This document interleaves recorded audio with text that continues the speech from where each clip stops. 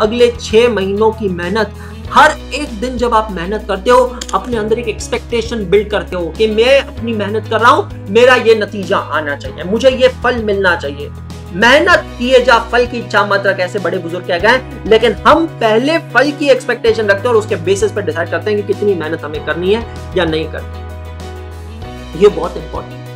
भाइयों, बहनों, देवियों और सज्जनों, ये छह महीने की जो एक्सपेक्टेशन होती है, इसका इसका एक अलग प्रेशर पड़ता है हमारे दिमाग पे, जब हम हमारे सबसे पहले पेपर में जाके बैठते हैं that is principle and practice of accounting इसीलिए मेरा जो पेपर है, पहला पेपर है it is known as a game changer paper क्या कहलाता है बेटा? ये game changer paper game changer क्योंकि ये आपका गेम बना भी सकता है और आपका गेम बिगाड़ भी सकता है। मतलब ये आपका, आपको गेम के अंदर भी रख सकता है या आपको गेम क्विट करने पे मजबूर भी कर सकता है ये चीज़ समझ